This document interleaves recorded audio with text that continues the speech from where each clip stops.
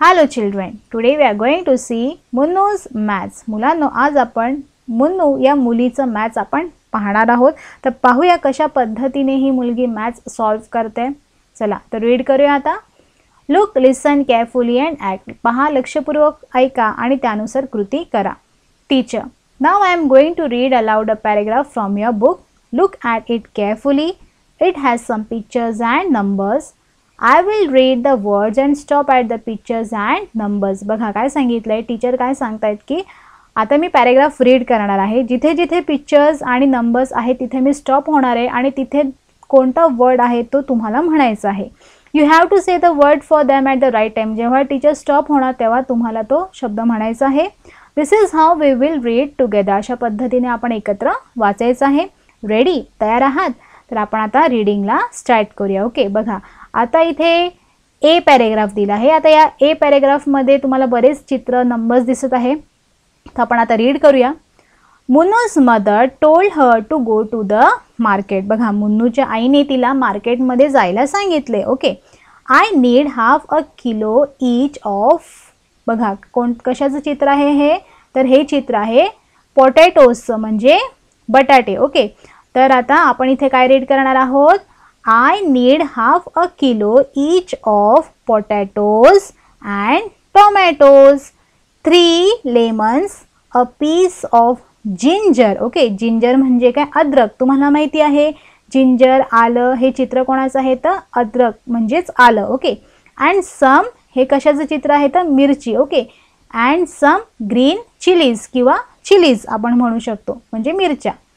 Take this कशाचं चित्र आहे bag and this hundred rupee note be careful and come back before five बघा तुम्हाला लक्षात आलं आहे का? जिथे जिथे चित्र आणि नंबर होते तिथे आपण वाचलं आहे. आपण हे कशाचं चित्र आहे ते ओळखलं आहे हे पोटॅटोज आहे हे टॉमॅटोज आहे हे थ्री आपण इथे म्हटलं आहे ओके तर हे जिंजर्स आहे ओके आता इथे बाजूला मी लिहून दिले आहे की या चित्राला तुम्ही काय म्हणणार जसं पहिलं आहे पॉटॅटोज या पॉटॅटोजसाठी नंतर टॉमॅटोज नंतर थ्री दिलं आहे नंतर जिंजर आहे चिलीज ओके नंतर ही बॅग नंतर हंड्रेड नंतर इथे फाय त्यानंतर मन Munnu brought the potatoes the tomatoes four lemons and some chillies I did not get any ginger Munnu said never mind said her mother बघा आता तिच्या आईने तिला काय करायला सांगितलं? तिच्या आईने तिला हाफ अ किलो म्हणजे अर्धा किलो ईच ईच म्हणजे प्रत्येकी ओके प्रत्येकी काय आणायला सांगितलं तर?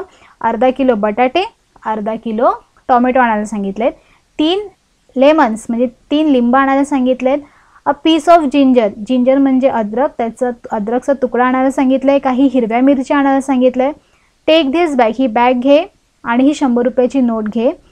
बी केअरफुल काळजीपूर्वक जा आणि पाचच्या आधी ये असं तिची आई सांगते. आता मुन्नू जेव्हा पुन्हा येते त्यावेळेस मुन्नू काय आणते पाहू? Munnu bought the potatoes the tomatoes okay मुन्नूनी potato पण आणले आणि टॉमॅटो पण आणले. आणि तिने तीन लेमनऐवजी चार लेमन आणलेत. आणि काही चिलीजसुद्धा तिने आणल्या आहेत. I did not get any काय हे जिंजर मला जिंजर म्हणजे अद्रक मला मिळालं नाही.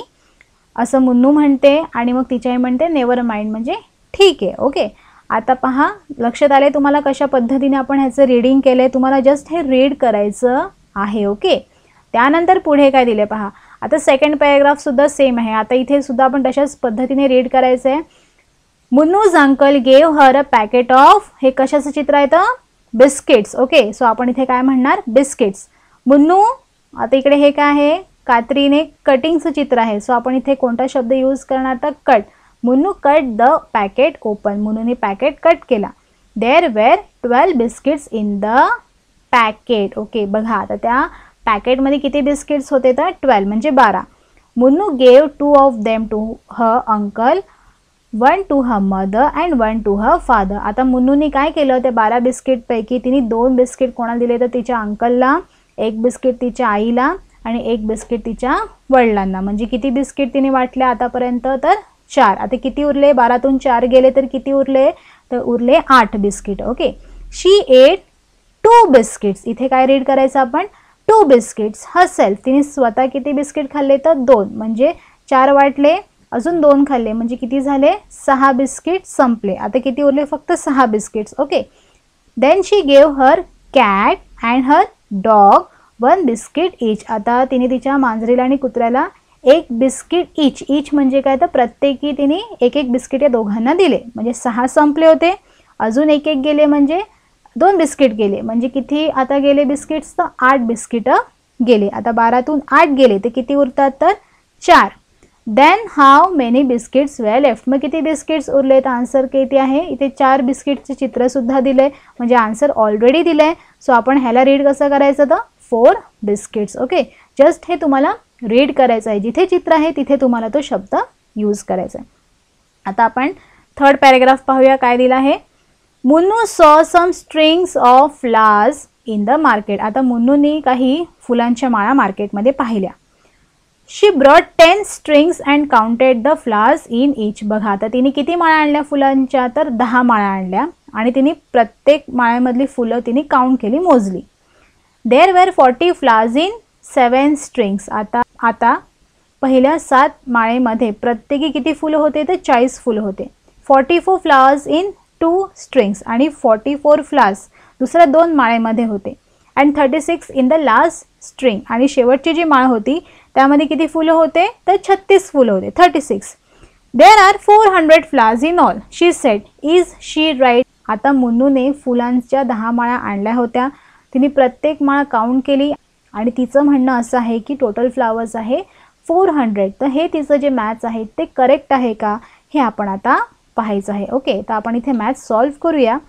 आता तुम्हाला मल्टिप्लिकेशन इथे करायचं आहे. ओके आता एका माळेमध्ये किती फुलं आहेत? तर पहिले जे सात माळा तिने काउंट केल्या. त्या सात माळेमध्ये प्रत्येकी किती फुलं होते तर? चाळीस. ओके म्हणजे पहिल्या सात माळा ज्या होत्या त्यामध्ये किती फुलं होते तर? त्यामध्ये होते चाळीस फुलं. किती फुलं होते?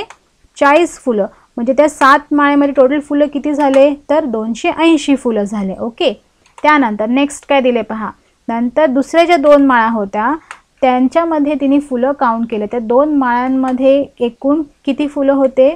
फॉर्टी फोर प्रत्येकी फॉर्टी फोर होते. मग एकूण किती फुलं होते त्या दोन स्ट्रिंग्समध्ये तर आन्सर आहे एटी एट तुम्हाला लक्षात येते का? आपण मल्टिप्लिकेशन का करतो? तर जेव्हा एका वस्तूची किंमत माहिती आहे आपल्याला आणि जेव्हा अनेकांची किंमत काढायची असते त्यावेळेस आपण काय करतो? तर आपण मल्टिप्लिकेशन करतो राईट तर एका माळेमध्ये चाळीस फुलं आहेत. तर मग सात माळ्यांमध्ये किती असणार? तर seven multiplied by forty so answer is two eighty दुसऱ्या ज्या दोन माळ्या तिने घेतल्या त्या दोन माळ्यांपैकी एका माळेमध्ये फॉर्टी फोर दुसऱ्या माळेमध्ये सुद्धा फॉर्टी फोर सो टोटल किती झाले तर two multiplied by forty four so answer is eighty eight आणि आता शेवटची जी एकच माळ उरली होती त्या एका माळेमध्ये किती फुलं होते तर? थर्टी सिक्स फुलं होते. ओके म्हणजे one into thirty six so answer is thirty six तर आता एकूण फुलं किती आहेत तर? टू एटी एटी एट आणि थर्टी सिक्स तर आपण ह्यांचं ॲडिशन करून घेऊया. आणि पाहूया की आन्सर फोर हंड्रेड येतं आहे का?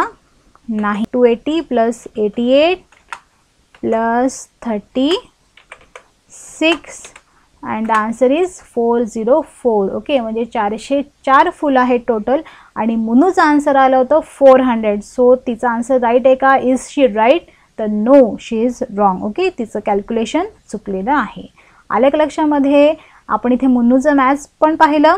आणि आपण पॅरेग्राफ कसा रीड केला? जिथे जिथे पिक्चर्स आहेत तिथे आपण त्या पिक्चरचं नाव म्हटलं आहे ओके तर तुम्हाला हे जस्ट नोटबुकमध्ये लिहून काढायचं आहे हे पॅरेग्राफ हे paragraph A paragraph B paragraph C पण पॅरेग्राफ लिहिताना जिथे जिथे चित्र आहे तिथे तुम्ही चित्र न काढता किंवा असे मोठे नंबर्स न लिहिता तुम्ही नाव लिहायचं आहे. जसं इथे तुम्ही काय लिहिणार? पोटॅटोजची स्पेलिंग लिहिणार. मी इथे लिहून दिलं आहे तुम्हाला ओके त्यानंतर इथे टॉमॅटोज लिहिणार. आलं लक्षामध्ये?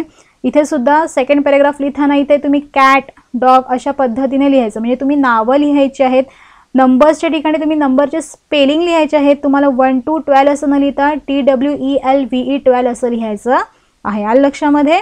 तसे तिन्ही पॅरेग्राफ तुम्ही लिहिणार आहात आणि शेवटी हे कॅल्क्युलेशनसुद्धा तुम्हाला करून दाखवायचं आहे. ओके त्यानंतर हे हार्डवर्ड्स आहेत.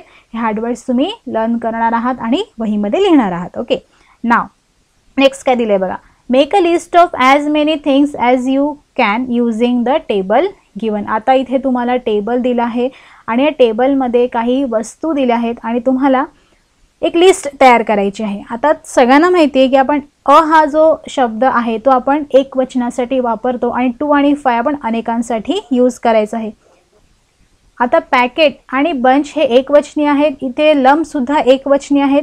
आणि सॅक्स किलोग्रॅम्स लिटर्स मीटर्स हे अनेक वचने आहेत.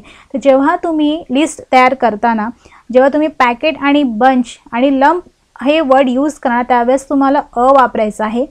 ज्यावेळेस तुम्ही सॅक्स किलोग्रॅम्स लिटर्स मीटर्स हे अनेक वचने आहेत त्यांना एस लागलेलं आहे पहा. त्यावेळेस तुम्ही टू आणि फाय हे शब्द यूज करायचे आहेत ओके आता बघा इथे तुम्हाला वस्तू दिल्या आहेत. आता सगळ्यांना माहिती आहे कोणासाठी काय यूज करायचं ते. बघा आता आपण कॅन्डल्ससाठी आपण पॅकेट यूज करणार आहोत.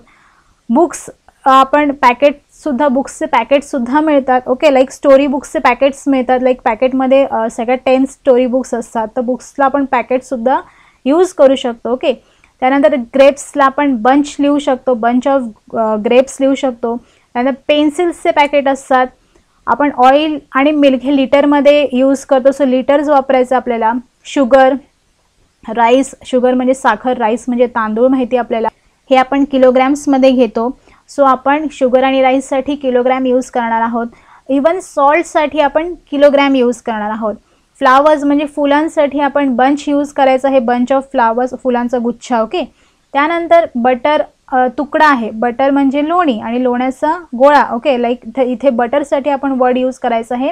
लम किंवा अ पॅकेट ऑफ बटरसुद्धा तुम्ही यूज करू शकतात. किंवा अल्लम लम म्हणजे तुकडा. तर तुकडा या बटरसाठी तुम्ही यूज करू शकतात.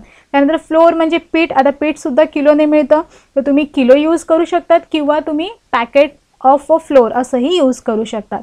त्यानंतर त्यानंतर क्लोथ आणि रिबिन यासाठी तुम्ही मीटर्स यूज करायचं आहे. ओके सो आपण रीड करूया कशा पद्धतीने ही लिस्ट तयार केली आहे ती?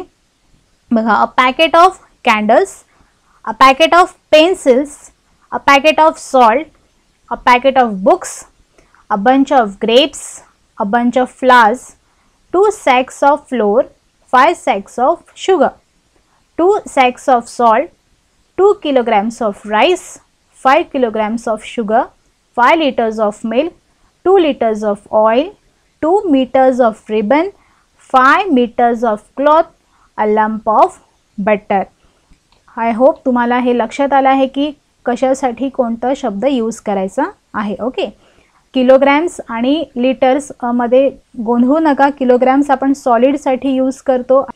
लिटर्स आपण या सगळ्या शब्दांमधून आपण ऑइल आणि मिल्कसाठीच यूज करणार आहोत. आणि लिटर्स आपण हे द्रव पदार्थांसाठी यूज करतो लिक्विड फॉर्मसाठी ओके सो नेक्स्ट क्वेश्चन अजून दिला आहे. Make a shopping list that has ten things in it आता ही आपण शॉपिंग लिस्ट पाहिली जी आपण स्वतः या चार्ट बघून ही तयार केली आहे. आता तुम्हाला स्वतःहून एक शॉपिंग लिस्ट तयार करायची आहे. ज्यामध्ये तुम्ही तुमच्या टेन वस्तू स्वतःहून ॲड करायच्या आहेत. तर तुम्ही कोणकोणत्या टेन वस्तू ॲड करू शकतात हे तुम्ही लिहिणार आहात. लाईक तुम्ही जर मार्केटला जाणार आहात तर त्याआधी तुम्ही लिस्ट करतात की आपलं काय काय सामान आणायचं आहे तर सपोज तुम्ही जर जात आहात मार्केटमध्ये किंवा आई जात आहे तर तुम्ही आईसाठी तुम्ही लिस्ट तयार करू शकतात की काय काय आणायचं आहे मार्केटमधून तर भाज्या आणायच्या आहेत तर कोणती भाजी आणायची ती लिस्ट किती किलो आणायची आहे ती लिस्ट करायची ओके त्यानंतर कोणत्या वस्तू आणायच्या आहेत का? त्याची लिस्ट करायची आहे. ओके तुम्ही लिहू शकतात लाईक वन किलो पोटॅटोज त्यानंतर टू किलोज ॲपल त्यानंतर नोटबुक कलर बॉक्स त्यानंतर um, चॉकलेट्स ओके तुम्ही टेन थिंग्स स्वतःहून लिहायच्या आहेत. टेनपेक्षा जास्त लिहिलं तर चांगलं आहे. ओके आणि हे जे हार्डवर्ड्स दिले आहेत ते तुम्ही लिहिणार आहात वहीमध्ये फाय टाईम्स आणि लर्न करणार आहात. ओके